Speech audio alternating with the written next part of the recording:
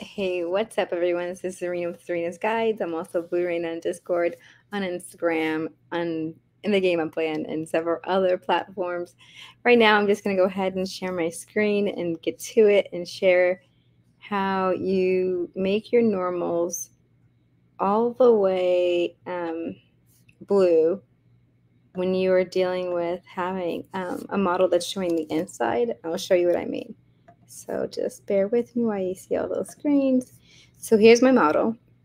And you can see it, the inside's red. And the outside, is, they are blue. And underneath, those flaps are red too. So um, people might say, well, you know, just flip the normals. But when you do that, it's just going to flip it the other way where the red would be on the other side.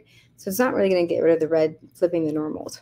Here, because they're showing the inside and the other side of the actual um, model itself, you have to do something different.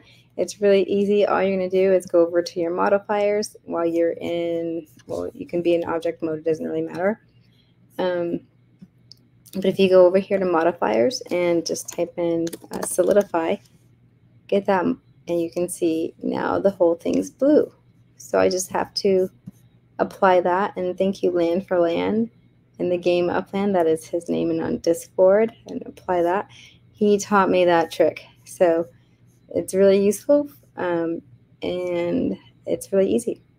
All right, that's it. Let me go ahead and get back to you all, and we will call this it. Bye bye.